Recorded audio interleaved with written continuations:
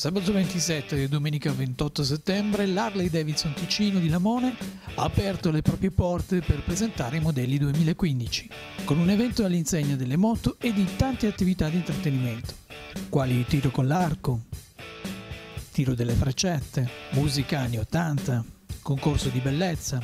E la presenza della squadra di pallavolo di Lugano, grill, barbecue e mercatino dell'usato.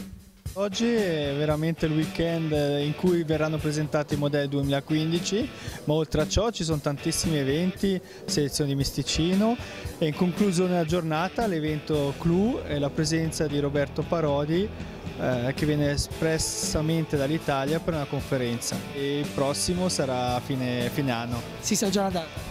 Il 21 dicembre, domenica 21 dicembre. Beh sì, il concessionario ha organizzato questi intrattenimenti per far sì che la gente rimanga, si possa muovere nel contesto della concessionaria e quindi un po' di attrazioni sono sempre uno stimolo per gli adulti e per i bambini e quindi cioè, si, una, si cerca di creare un ambiente familiare.